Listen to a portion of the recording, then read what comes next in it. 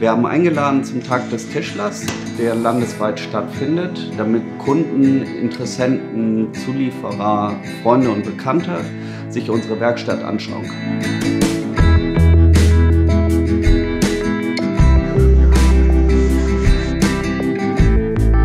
Der Einsatz von digitalen Technologien hat insofern den Alltag eines Tischlers geändert, als dass er ihn bereichert hat mit neuen Möglichkeiten, die er hat. Das heißt, wir setzen zum Beispiel die digitale Technologie beim Aufmaß ein, bei der Kommunikation mit Monteuren, aber auch hier äh, bei der Arbeitsvorbereitung, der Konstruktion der Bauteile, die wir dann später auf zum Teil auch digitalisierten bzw. digital gesteuerten, computergesteuerten Maschinen ähm, fertigen.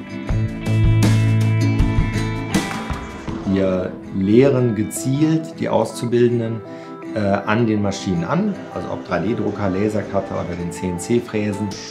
Nicht damit die das später nur noch machen, sondern dass die sehen, wo der Horizont ist, dass sie ihren Horizont dahingehend erweitern können, was möglich ist, was später auch machbar ist, weil im Endeffekt sind das die Facharbeiter von morgen, das sind die Leute, auf die wir bauen müssen.